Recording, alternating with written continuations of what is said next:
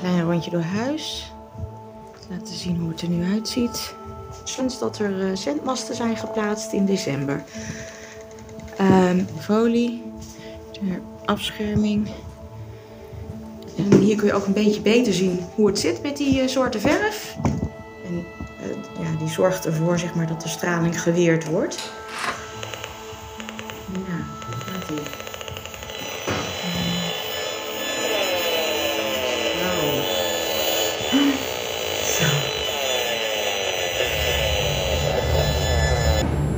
Are electromagnetic beings. We conduct. And we are messing with the basic functioning of our cells.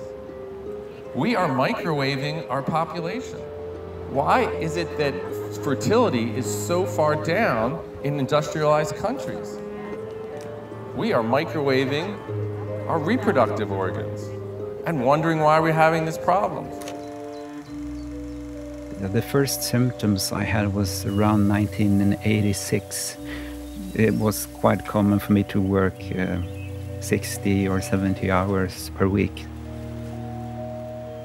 Um, we were getting uh, more and more computers, building more advanced devices, and they gave off emissions that were too high.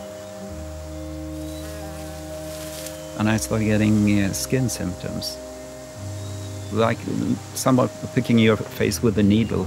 You would get a rash on your whole body uh, and on your face. På arbetsplatsen har Per en egen ingång i omedelbar närhet till sitt arbetsrum. Han lider av något som officiellt inte finns, elöverkänslighet.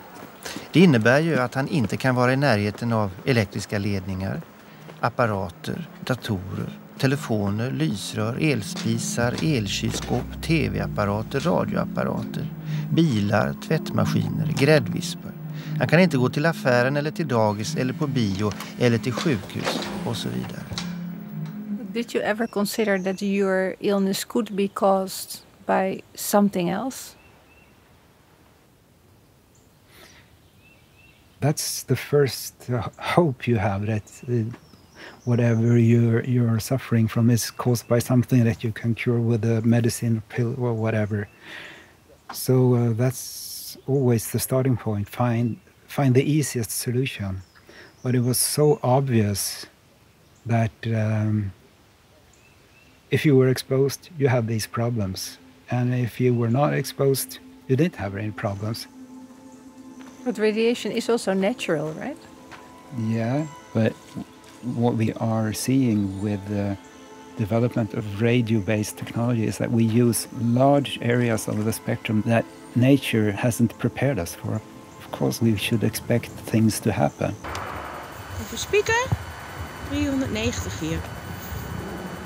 Nou, dit is dus de boosdoener, de mast. Met in ieder geval 3G, LTE. Het straalt behoorlijk. En volgens mij zit er ook internet of things inmiddels in.